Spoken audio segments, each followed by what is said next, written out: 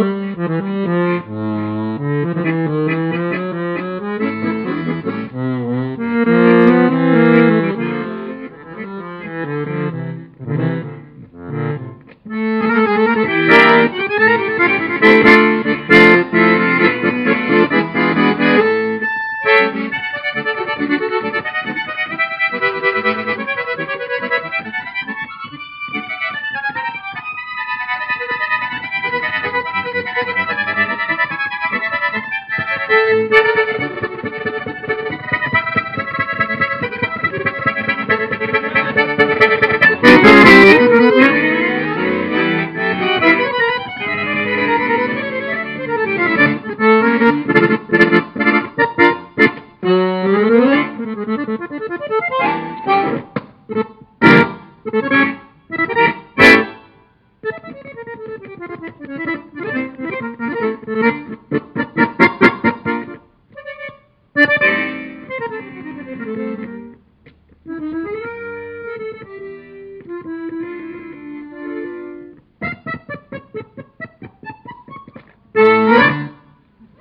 Karstensen, direkte fra Argentina. Er det ikke fantastisk hva det kan få for et bibliotek på en kveld? Nå må dere stålsette dere, for dette er en del av